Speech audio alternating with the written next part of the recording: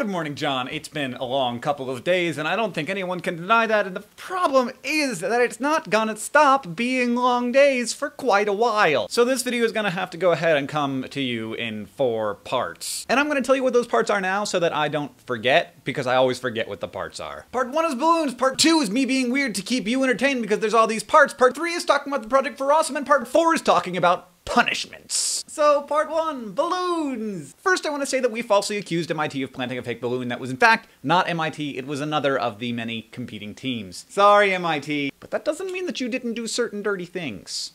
Just not going to talk about that. Because we did dirty things too. The fact of the matter is, I think that DARPA wanted to learn a lot of things from this project. They wanted to see how easy it could be to rapidly mobilize a group of people to do a specific task. And whether that task is to find red balloons, or find a missing child, or blow up strategic targets, all of that is very interesting to the military. But John, it became very clear to me as I was doing the red balloon thing that this was very similar to being a resistance fighter. We were taking an intelligence from an intelligence network, and then dispatching real people in our network to go confirm that intelligence. And it seems to be very clear that if I was a member of the Rebellion in the Star Wars universe, the Empire would be not a big fan of that ability. It also seems clear to me that I would like my government to know how to anticipate and deal with groups of people who want to do this in order to hurt people. And I also want them to have a good idea of how to disrupt that. So it's not just finding the balloons that's interesting, it's also learning how to disrupt the intelligence network that's interesting. And that's what the Nerdfighters were doing, and that's what MIT was doing. And that's what a lot of the other groups were doing. So there's a lot of really interesting things going on. And let's be honest, all is fair in love, war, and balloon challenges. I think that MIT did a fantastic job, and I know that there are MIT students students and alumni among Nerdfighteria, and we love all of you! Nerds can't be turning on other nerds here. It was a game, and it was well played! And as I said on Twitter, we may have only found 9 out of the 10 balloons in the real world, but Nerdfighteria, you found all of the balloons in my heart. Thing number two, me being weird. This is the lamest thing in the world to be excited about. It's my pill container. It helps me remember when to take my pills.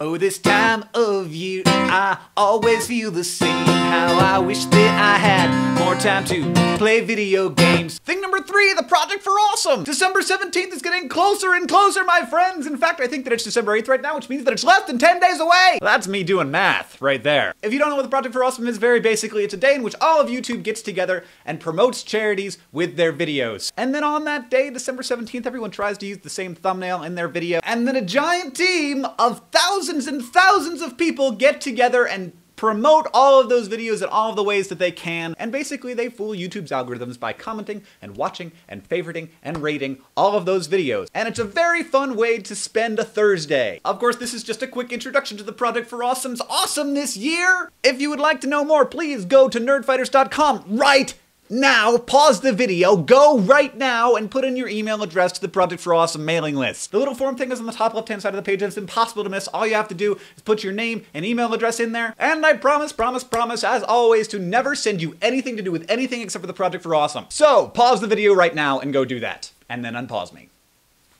Thing number four, punishments. So by now you all know that I'm going to have to spend 15 hours inside of a target. John's punishment on the other hand is still up in the air and I'm kind of at a loss. One thing that I was thinking he could do is maybe watch every single thing that's on Vlogbrothers in order without sleeping. Which I think would take like 26 hours. But if you, the denizens of Nerdfighteria, have any other suggestions, please leave them in the comments below. Obviously, I am now out of time, so John, you will see me tomorrow with some very exciting news.